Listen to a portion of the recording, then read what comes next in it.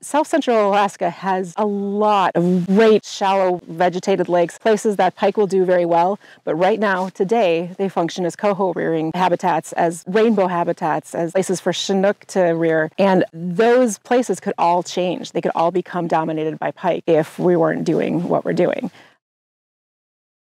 Hi, I'm Kristine Dunker. I'm the uh, South Central Alaska Invasive Species Coordinator for the Alaska Department of Fish and Game Division of Sportfish. When we have places like um, Three Mile Lake here, that's pretty uniform in habitat. You know, it's not really that deep. It has a lot of aquatic vegetation, all the things that northern pike really like and thrive for uh, spawning, rearing, and, and uh, feeding, we tend to see pretty drastic impacts on the native fish community. So what often happens is when pike are introduced to a system like this, you know, they initially do quite well because usually they have a lot of fish prey, which is ultimately their, their, their preference.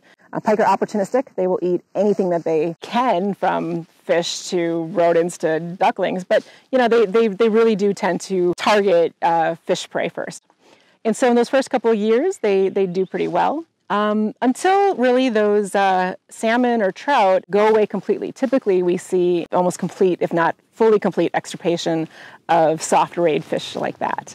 At that point, a pike's diet will shift to sticklebacks, which are usually quite prevalent in uh, lakes in south central. They're pretty small fish, but they have these kind of spiny dorsal fins, and those spines make them a little trickier to eat. So they tend to be preferred less than a soft rayed fish like a juvenile salmon. But no juvenile salmon are there, then the sticklebacks tend to dominate the diets until they're gone as well. And then northern pike really have nothing else to subsist on outside of um, water bugs, uh, basically your aquatic invertebrates like dragonfly larvae, any of the aquatic beetles, things like that. They're not very good quality prey for a top predator like a northern pike. So the northern pike typically start growing much smaller. Um, they're really no longer that pike that most anglers want to go after, but they become very, very numerous at those small, kind of, you know, thin sizes. And uh, they're just not healthy. The ecosystem isn't healthy, but their diets tend to be dominated almost completely by invertebrates and occasionally another pike, not very many. They certainly don't eat enough of each other to regulate their own populations, but occasionally we'll find a pike in a stomach. You know, the ducklings, the little birds, the frogs, the, the rodents, whatever they have the ability to go after, but generally they're subsisting mainly off of those invertebrate prey. It doesn't take very long for the salmon and trout populations or other native fish in a lake that becomes invaded with pike before those native fish populations go away entirely. So, what is our consequence if we're not doing anything?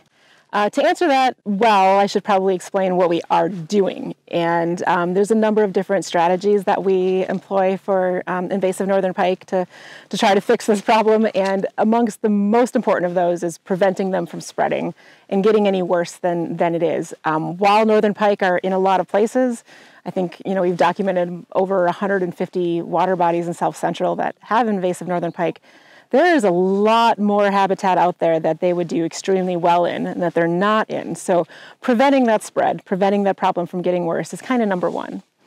And where we can, second to that, if we can eradicate populations, um, both to prevent their spread and also to restore fisheries, that is another huge piece and one of our um, one of our main goals. But it's somewhat limited as to the types of places that we can fully eradicate, meaning we take out all of the pike of a population.